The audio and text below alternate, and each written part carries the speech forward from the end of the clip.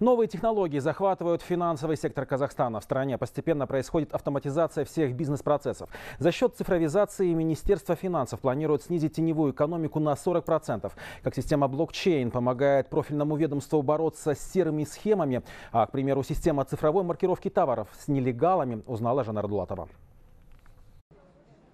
Салтанат Назарова – одна из первых, кто опробовал новую систему маркировки товаров. Предпринимательница поставляет шубы в Казахстан и признается, что конкурировать на рынке раньше было нелегко. Особенно, когда рядом торгуют бизнесмены-нелегалы. Теперь гораздо проще доказать уникальность и качество своей продукции.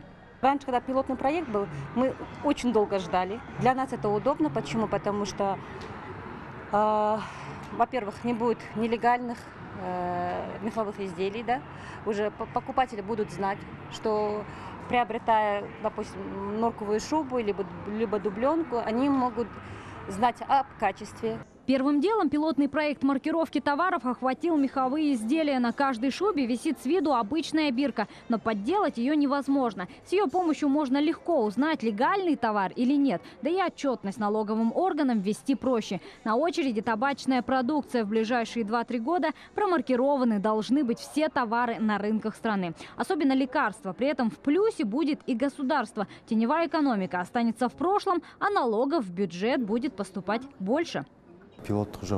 С начала пилотного проекта промаркировано более 240 тысяч меховых изделий. Количество импортеров, оформивших декларации за 10 месяцев, увеличилось с 63 до 90. Маркировка товаров – это инструмент, который позволит отслеживать товары, поступающие на рынок. Подделать маркировку сложно, да и через кассовый аппарат сразу будет видно.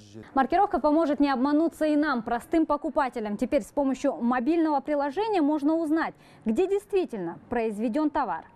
На это уходит меньше минуты, и вот, пожалуйста, Италия. В современном мире мошенникам и предпринимателям, которые хотят обойти закон, становится все тяжелее. Технологии в руках государства – серьезный инструмент. К примеру, блокчейн поможет Министерству финансов в борьбе с серыми схемами или так называемым обналом. С начала следующего года в Казахстане будут использовать контрольный счет для НДС. Новый метод поможет как государству, так и честным предпринимателям. Из-за того, что получается более вот такой высокий уровень доверия к данным, мы можем теперь автоматически некоторые процессы запускать. Так называемая технология смарт-контрактов. А, теперь декларации по НДС у нас будут формироваться автоматически. Я говорил, вместо 55 дней на возврат НДС. Теперь мы хотим довести это до одного дня. Для честного бизнеса, ну, вот, э, бизнесменов это очень выгодно. За счет того, что они вовремя будут получать деньги, у них увеличиваются оборотные средства, они становятся более конкурентоспособными. Так, все данные теперь строго будут отражены на узлах сети блокчейн. В целом же цифровизации пытаются охватить весь финансовый сектор страны. От сбора налогов до полной автоматизации бюджетного планирования, аудита и контроля. Будущее, уверены эксперты, за технологиями больших данных и искусственного интеллекта. Их мошенникам уж точно не обмануть. Жанар Дулатова, Наурыз Базаров, Ербол Даиров, Хабар 24. Астана.